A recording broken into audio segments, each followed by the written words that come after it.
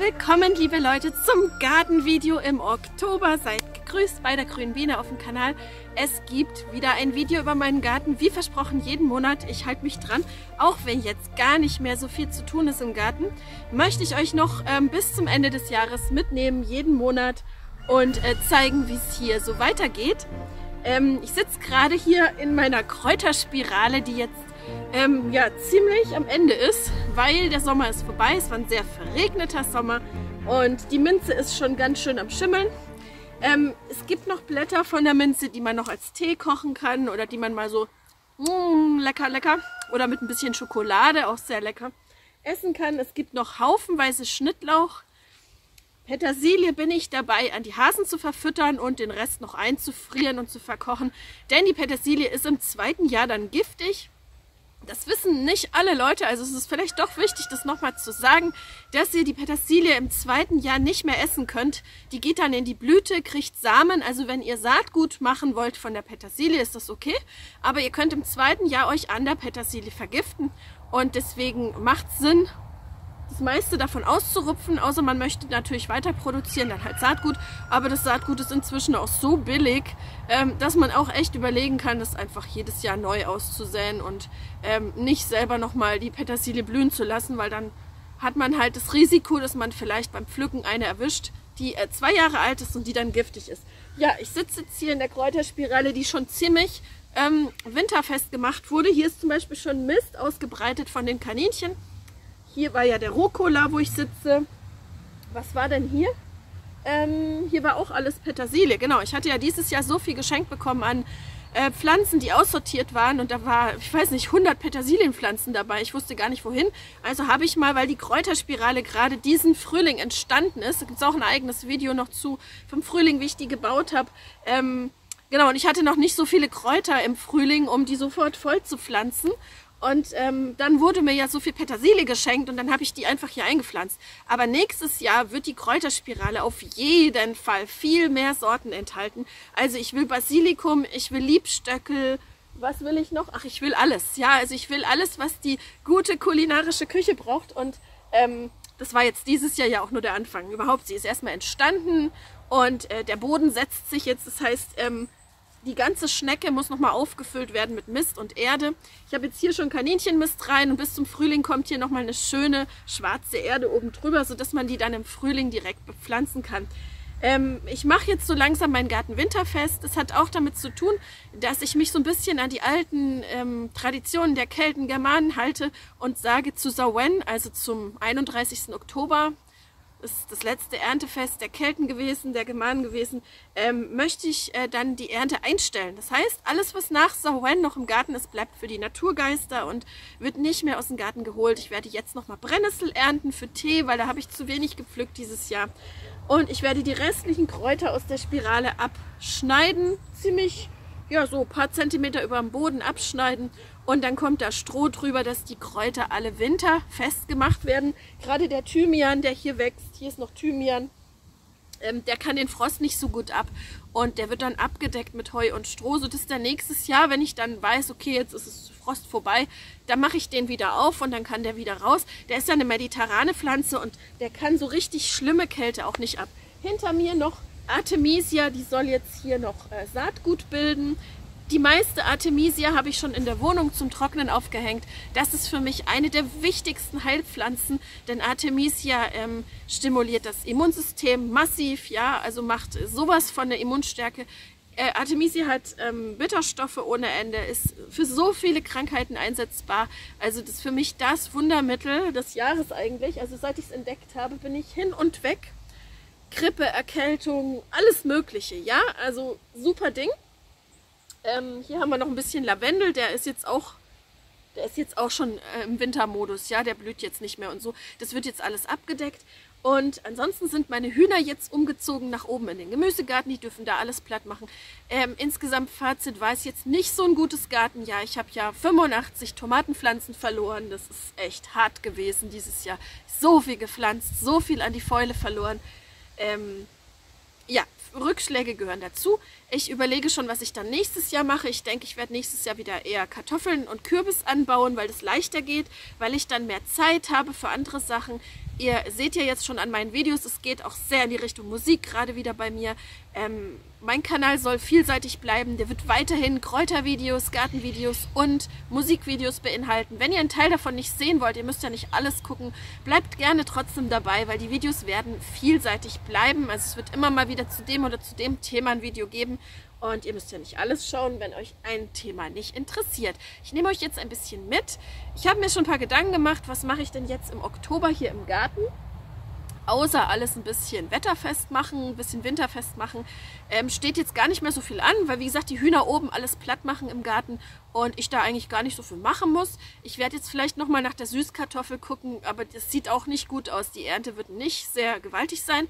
Ähm, wo ich euch jetzt heute mitnehmen werde, ist, ähm, ich habe so 25 Kilometer entfernt von hier auf einem Grundstück von einer Bekannten ähm, vier Bäume gepflanzt, zwei Feigen und zwei Maulbeeren, beziehungsweise die Maulbeere ein Baum, ein Strauch.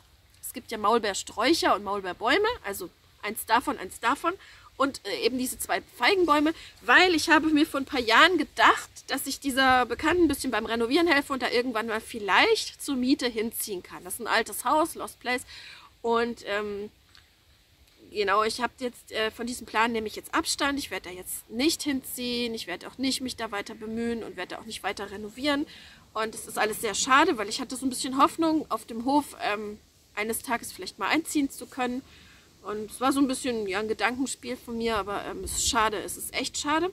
Und ähm, ich hatte dort diese vier Bäume gepflanzt und die werde ich jetzt ähm, zurückholen. Das heißt, ich fahre dahin und werde diese vier Bäume ausgraben und hierher holen, jetzt wo ich wohne, damit ich die hier habe und dass ich vielleicht irgendwann davon was ernten kann. Warum Feige und Maulbeere? Es wird immer wärmer, Klimaerwärmung und so weiter. Also dieser Sommer war ja jetzt verregnet, aber Ausnahmen bestätigen die Regel. Es kann halt sein, dass es immer heißer wird. Die letzten Sommer haben das schon gezeigt. Mein Weiher ist jetzt seit 2018 im Sommer regelmäßig ausgetrocknet. Viele, viele Bäume hier sind vertrocknet. Kirschbäume, zum Beispiel vier Kirschbäume hier sind komplett tot. Das waren riesengroße Bäume. Ähm, ich bin 2017 hier hingezogen, da war es noch ein richtig schönes grünes Jahr und ab 18 ist es eigentlich immer trockener geworden in den Sommern und heißer.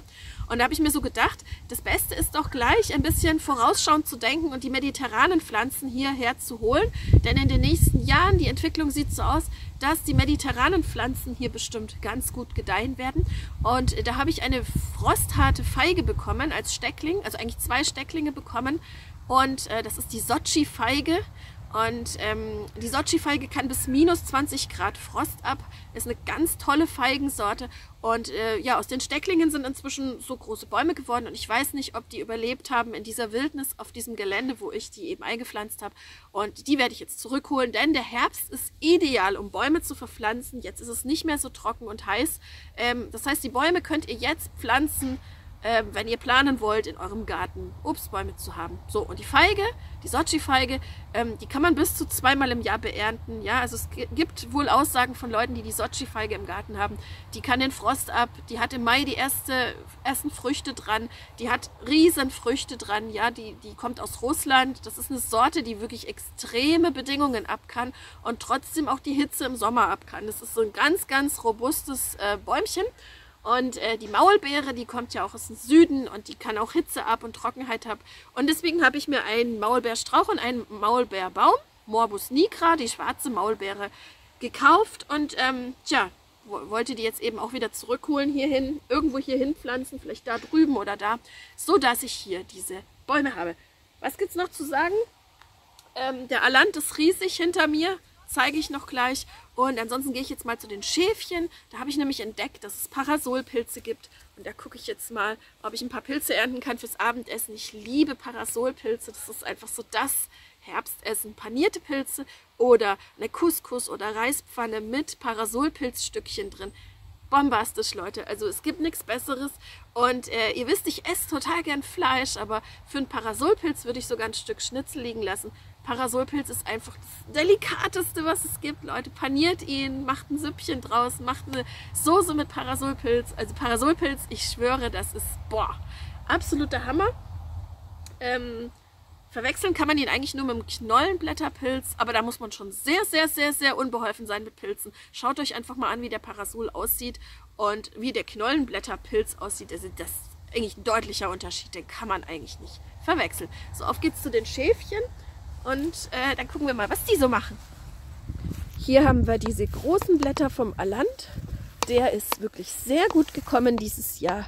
Daneben noch die restliche krause Petersilie, die jetzt noch abgeerntet wird. Und der Rest wird verfüttert. Kapuzinerkresse gibt es noch ein bisschen. Oregano gibt es noch ein bisschen, aber das sieht jetzt auch nicht mehr so gut aus. Und äh, Eibisch ist jetzt verblüht. Das ist das hier. Ich weiß nicht, ob man das sieht. Das ist Eibisch hier. Hier oben, das große. Der hat jetzt keine Blätter mehr. Und genau, die Eibischwurzel ist auch ein ganz, ganz starkes Hustenmittel. Da könnte ich jetzt mal gucken, ob ich ein bisschen Wurzel ausgraben kann von Eibisch.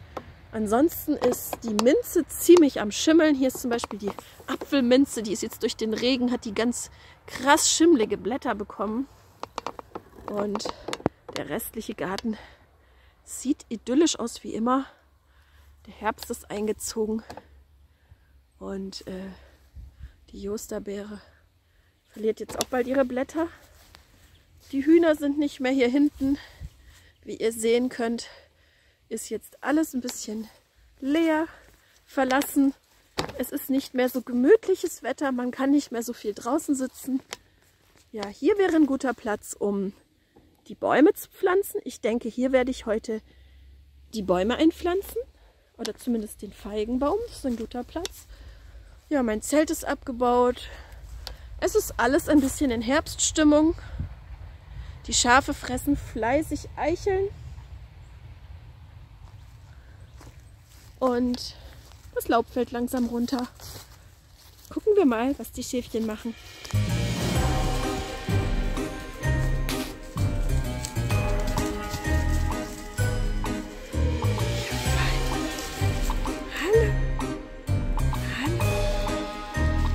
Ui, seid ihr wild.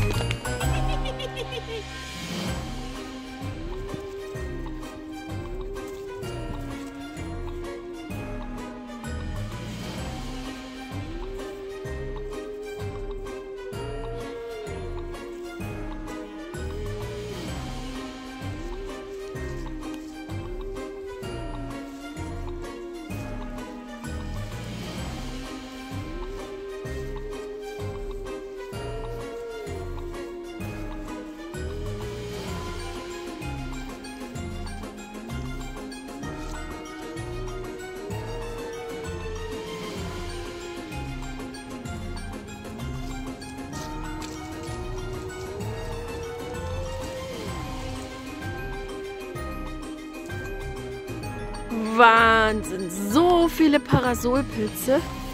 Ähm, die schießen hier alle aus dem Boden raus, da und da.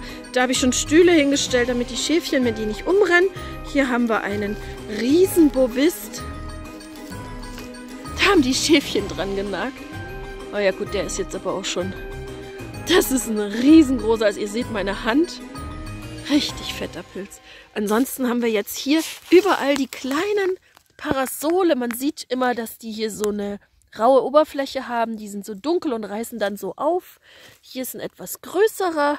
Und wenn die dann die Kappe aufmachen, oh, hier sind die Schäfchen schon gerannt. Wenn die die Kappe aufmachen, die kann man wunderbar panieren wie ein Schnitzel. Also, ähm, ja, die Schäfchen reißen die alle raus, die laufen hier rum. Und der Parasol macht auch oft so einen schönen Hexenkreis. Kann man jetzt hier so ein bisschen sehen, dass der sich kreisförmig ausbreitet. Das hat was mit dem Myzel im Boden zu tun. Denn der Pilz, der ernährt sich ja auch von pflanzlichen Abfällen. Hier auch. Und äh, wenn er die aufgefressen hat, die bestimmten Abfälle, die er braucht, dann ähm, ja, breitet sich dieser Ring eben kreisförmig aus von Pilzen. Denn das, was wir sehen hier, diese Pilzköpfe, das ist ja eigentlich nur die Blüte des Pilzes. Der eigentliche Pilz, der sitzt meterweit hier in der Erde. Und das ist das Pilzmycelium, was hier im Boden ist und was wahrscheinlich hier über viele, viele Meter verbreitet in der Erde ist. Und die Pilze sind ja nur dazu da, also die Pilzköpfe sind ja nur dazu da, die Sporen zu verbreiten. Und sowas wie bei einer Pflanze die Blüte, Aber der Pilz ist ja keine Pflanze, der macht auch keine Photosynthese, der frisst, wie gesagt, organisches Material. Und ähm, ihr seht, hier ist alles voll, hier kommt immer mehr. Ja, die Schäfchen haben ihren Heuballen hier. Auch hier kommt überall Parasol raus. Das ist einfach wunder, wunderschön. Und wenn das etwas größere sind, stelle ich immer so einen Stuhl drüber, damit die geschützt sind und äh, damit die Schäfchen die nicht umrennen. Lecker. Jetzt ist auch die letzte Chance, nochmal rauszugehen und Wildkräuter zu pflücken. Ich habe hier gerade schon Brennnesseln gesammelt für Tee und finde gerade noch einen letzten Löwenzahn, der sogar noch drei Blüten hat. Ich nasche sofort von den Blättern, denn die sind total gut für die Leber zum Entgiften und für die Nieren auch. Und äh, ich pflücke davon mehrere Blätter, die ich dann auch mit reinnehme und mir aufs Brot mache, aber natürlich auch frisch direkt im Garten verzehre. Das ist jetzt die letzte Chance, nochmal Vitamine und Mineralien direkt direkt aus der Natur zu tanken, bevor es dann einfach vorbei ist, der Winter kommt und wir dann nur noch eingemachte Sachen oder Sachen eben aus dem Supermarkt essen können, die frisch sind. Und ich nutze das jetzt einfach nochmal richtig aus, bevor der Oktober vorbei ist.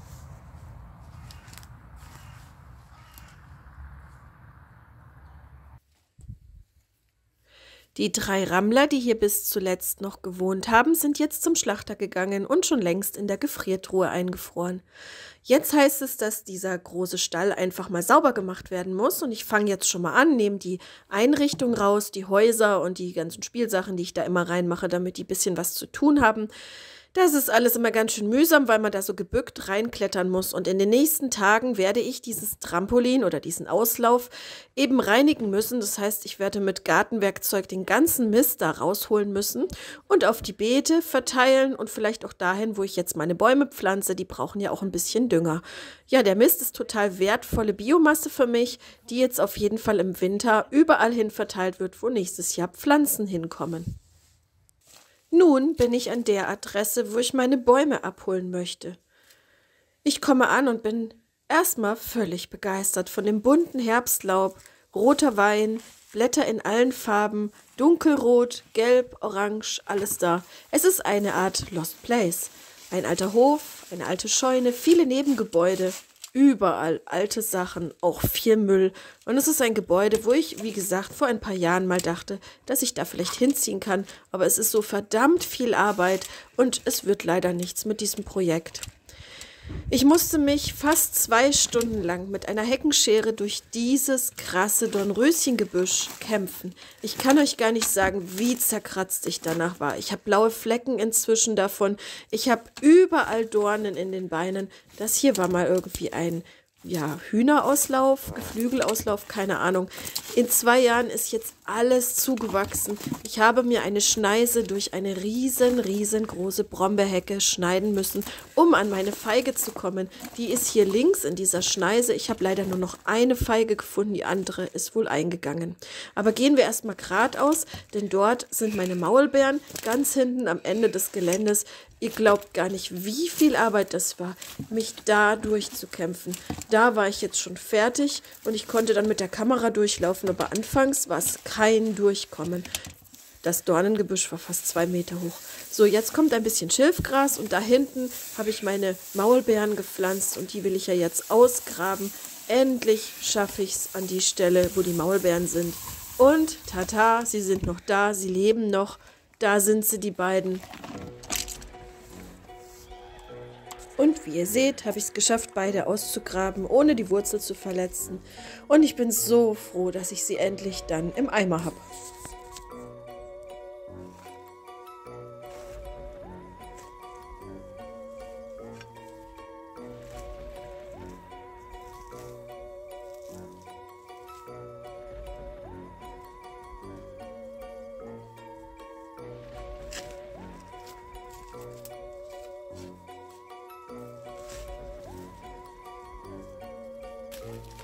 Viel schwerer als die Maulbeeren auszugraben war es allerdings, die eine letzte verbliebene Feige auszugraben.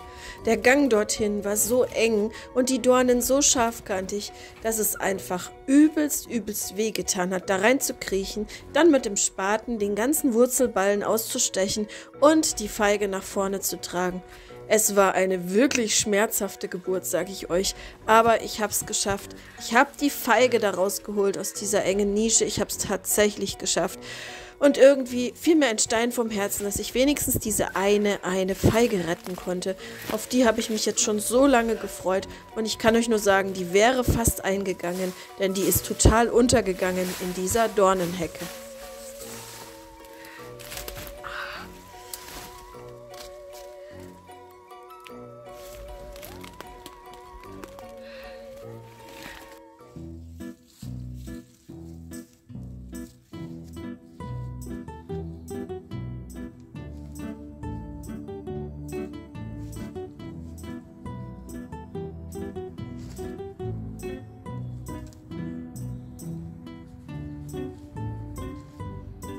Und wieder zu Hause, auf geht's ans Bäumchen pflanzen. Ich finde diesen Platz wirklich ganz toll für die äh, Feige und auch für die Maulbeeren.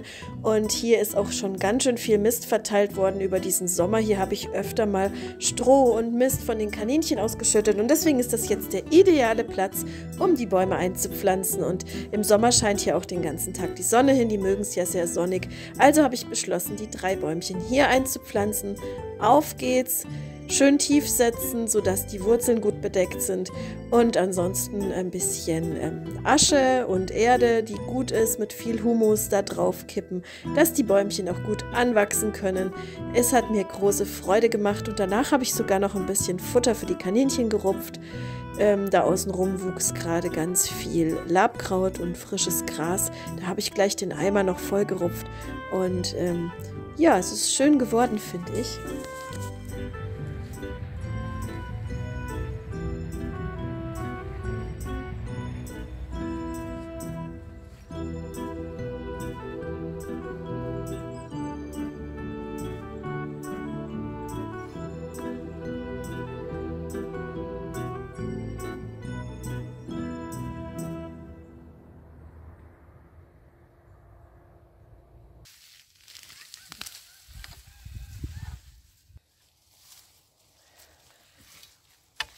Also ich weiß nicht, was es ist, aber die Süßkartoffel, da ist sie, kriegt jetzt gelbe Blätter.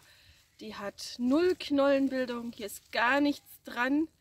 Ähm, es sind etwas verdickte Wurzeln, aber das ist es auch schon. Ich weiß nicht, woran es liegt. Ich habe hier bestimmt 30 Süßkartoffelpflanzen, 40 oder so. Es ist ultra schade dieses Jahr. Also mir ist echt wenig gelungen. Vielleicht der lila Blumenkohl, der ist super gelungen und der Porree. Aber mit dem mit den Tomaten und mit dem Süßkartoffel. Es ist echt traurig. Ich werde nächstes Jahr hier wieder Sachen anbauen, wo ich mir sehr sicher bin. Kartoffel läuft, wenn man die Käfer absammelt. Mm, Kürbis läuft immer. Zucchini läuft auch super. Von daher ist es jetzt, tja, ein Satz mit X. Aber ich habe die Pflanzen ja geschenkt bekommen. Ist jetzt nicht so ein finanzieller Verlust, aber halt, ja, der Arbeitseinsatz was es jetzt noch sehr viel gibt, ist Mangold, Kohl zum Pflücken. Der Palmkohl ist noch da. Hm, vielleicht ein paar Paprika. Topinambo ist sowieso immer da. Tja, und das war's dann. Ne? Ich gucke jetzt halt nochmal durch den Garten, was noch so rauszuholen geht. Und der Rest bleibt dann für die Hühner und die Naturgeister. Tja, schade, schade. Ich hätte so gerne Süßkartoffeln. Vor allem, ich esse die so gerne. Das tut weh. Ey, das tut echt weh dieses Jahr. Also hier ist halt echt noch super viel Mangold. Den kann ich jetzt noch mal ernten. Da der mit dem gelben Stiel, der rote ist noch da. Da hinten ist auch noch roter. Und ja, jetzt gucken wir mal zu den Paprika. Da sind jetzt auch noch mal ganz kleine Früchte dran. Okay, das ist besser als nichts. Hier ist auch noch einer. Genau. Und da sind noch mehr Pflanzen. Da muss ich noch mal durchschauen. Mangold, Paprika. Und dann gibt es noch ein kleines bisschen Kohl zum Pflücken. Der Palmkohl, ich habe den ja fast ver komplett verfüttert. Aber hier ist noch Kohl, den man pflücken kann. Hier wächst eifrig die Hirse. Sehr eifrig. Und meine Futterrüben sind teilweise von den ähm, Wühlmäusen gefressen worden hier. Aber dazwischen sind auch immer noch Pflanzen im Boden, die man noch verfüttern kann an die Kaninchen. Und hier sind auch noch welche. Ich gucke mal. Ja, das sind die gelben Futterrüben. Also die kann ich auf jeden Fall verfüttern, die Blätter. Und ähm, da muss ich jetzt mal einen Eimer holen. Schade nur mit der Süßkartoffel. Also ich kann das noch mal zeigen. Hier ist auch noch Süßkartoffel. Aber das wird ja hier wohl nicht anders sein. Wenn ich die ausreiße, da ist so ein kleiner Wurzelballen dran. Ähm, ich weiß auch nicht.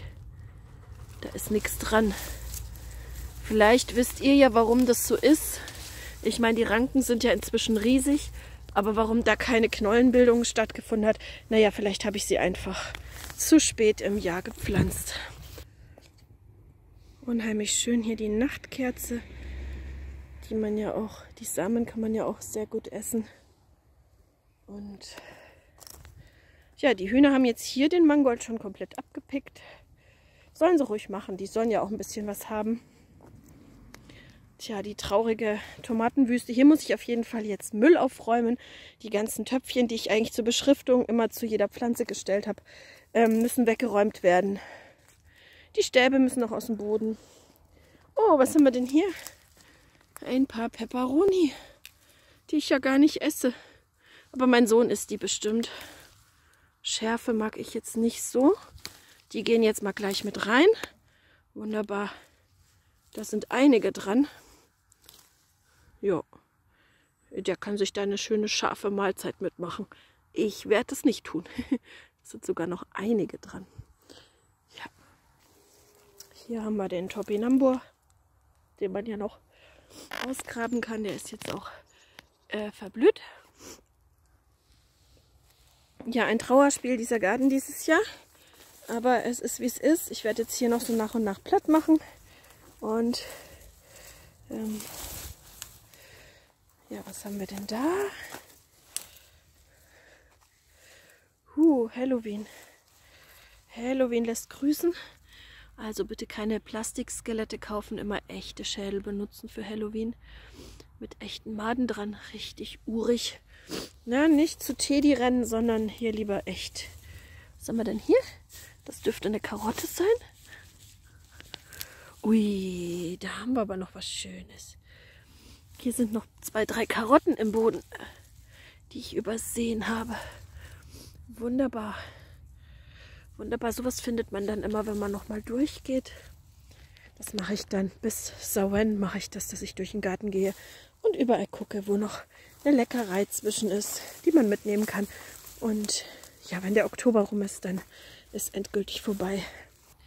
So, das Video neigt sich dem Ende zu. Ich bin jetzt heilfroh, dass die Bäume im Boden sind, dass die jetzt anwachsen können, dass die ihren Platz bekommen haben hier in meinem Dorf, hinter meinem Haus, dass ich auch immer wieder danach gucken kann und hoffentlich in den nächsten Jahren eine Ernte davon habe. Ähm, heute ist so ein richtig schöner Sonnentag, trotzdem ist es ein bisschen frisch. Ähm, die nächsten Tage werden bestimmt wieder regnerisch, so sieht es im Wetterbericht aus. Und äh, der Herbst ist jetzt in vollem Gange. Und äh, Sawen steht vor der Tür. Das heißt, in ja, zehn Tagen ist eigentlich hier vorbei mit Ernte. Was ich dann nicht aus dem Garten geholt habe, wird hier verbleiben. Dann ist für mich das Erntejahr oder das Gartenjahr eigentlich abgeschlossen. Trotzdem, ich habe es versprochen, dass ich euch im Jahr 2024 jeden Monat einmal mitnehme. Trotzdem werde ich weiterhin auch im November und Dezember nochmal meinen Garten zeigen. Vielleicht das ein oder andere zeigen, was ich draußen noch mache. Ich lasse mir vielleicht was anderes einfallen, weil so wirklich was zu tun ist November, Dezember ja gar nicht. Da ist ja dann die Zeit der Einkehr, der Rückkehr nach innen. Da geht die Adventszeit los. Also Adventszeit ist ja eigentlich christlich. Für mich geht die Zeit vor Jul los. Also die Zeit, wo man viel Bücher liest, Kekse backt, drinnen ist. Ähm, sich weiterbildet, wo das dann alles so nach innen ist, Innenschau, mit sich selber arbeiten, mit lieben Menschen zusammen sein und das ist einfach jetzt der Winter, der vor der Tür steht. Ähm, trotzdem, ich habe es versprochen, jeden Monat ein Video. Nächstes Jahr wird es vielleicht anders, da werde ich dann vielleicht nicht jeden Monat ein Gartenvideo machen. Es wird weiterhin Kräutervideos, Pflanzenvideos geben, aber es wird im nächsten Jahr deutlich mehr Kunst und Musik von mir geben. Das verspreche ich euch jetzt schon mal, weil das sind meine Pläne. Wir werden mal sehen, ob ich vielleicht auch drinnen mal wieder ein paar Roomtouren mache, Zimmer aufräumen Videos, Minimalismus Videos, auch das ähm, ja, gab es jetzt schon lange nicht mehr. Ich habe ja, ich glaube, im letzten Januar war das. Ich weiß es nicht mehr genau, es dürfte ein Jahr her sein. ähm, habe ich ja mal gezeigt, wie ich ausmiste, wie ich Schränke aufräume. Vielleicht wird sowas wieder geben. Ihr könnt gerne mal unter das Video schreiben, welche Art von Videos euch so interessieren von meinem Kanal, was ihr gerne sehen und gucken würdet oder ob ihr eigene Ideen habt, was ich mal äh, für eine Reihe machen könnte. Ansonsten wünsche ich euch jetzt eine wunder wunderschöne Herbstzeit, ein wunderschönes Samhain-Fest. Vielleicht wollt ihr ja einen Kürbis schnitzen, vielleicht macht ihr auch ein paar Kerzen an, gedenkt eure Ahnen. Es gibt vom letzten Jahr ein äh, schönes Video über ähm, oder Halloween von mir, wo ich hier draußen äh, mit meinen Ahnen alleine mit denen gespeist habe. Es ist wunderschön magisch und es wird auch einzigartig bleiben, weil ich mir normalerweise dabei auch nicht so über die Schultern schauen lasse. Ich kann es jetzt nochmal einblenden, dass ihr dann nochmal seht, wo das Video zu finden ist. Ja, ansonsten sage ich mal bis bald. Gibt bald wieder ein Video. Immer viele Themen, die mir im Kopf rumschwirren. Ich freue mich auf jeden Fall, dass ihr so zahlreich reinschaut, dass ihr auch immer mehr Abonnenten werdet. Vielen, vielen lieben Dank und äh, gehabt euch wohl, habt eine schöne Zeit und bis zum nächsten Video. Ciao!